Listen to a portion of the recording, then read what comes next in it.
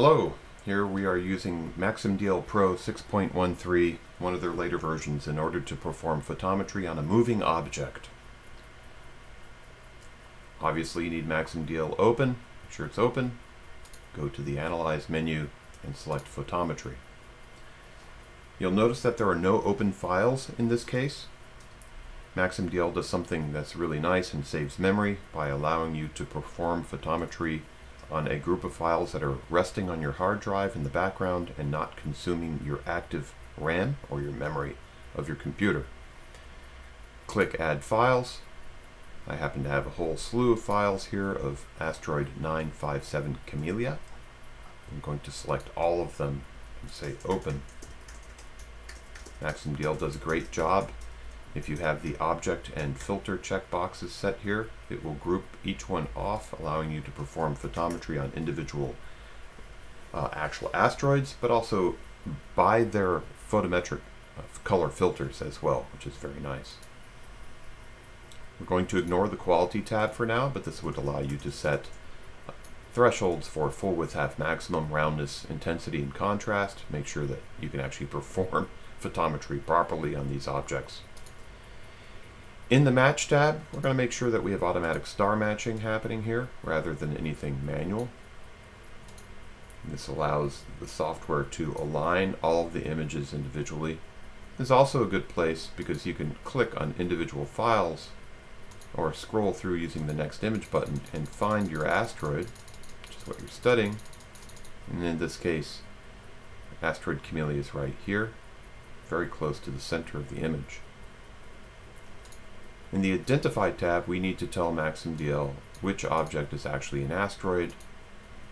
So we select here New Moving Object, and we click on Camelia, and it labels it Moving 1. Click down to the very bottom image here in our list. Camelia has moved considerably. We're going to click on it down here, and it labels it, again, Moving 1. At this point, MaximDL should have labeled each image appropriately um, so that your target has been labeled and encircled by an aperture.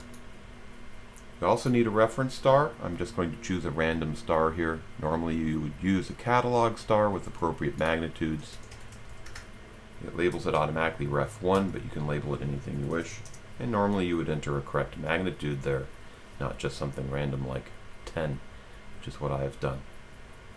It also is a good idea, since we're good scientists, to use a check star to validate that our comparison star is not in and of itself a variable or anything unusual is happening with the rest of the image. And at this point, MaximDL has gone through and applied those labels and apertures to all of the objects in each of the image frames. It's pretty cool in that it knows how to identify moving objects. At this point you can hit graph and it reads all the files and does photometry on each one for you automatically and presents you with a plot. You can then save that off as a comma separated value. Down here at the bottom there's this rather hidden little triangular thing which pops up a drop down menu. You can save as a comma separated value file that's easily openable in Excel, or you can save it off as a standardized AAVSO text file, which is more for variable stars, certainly not asteroids, or you can just print the plot, which is fine as well. That's all there is to it. Thank you for watching.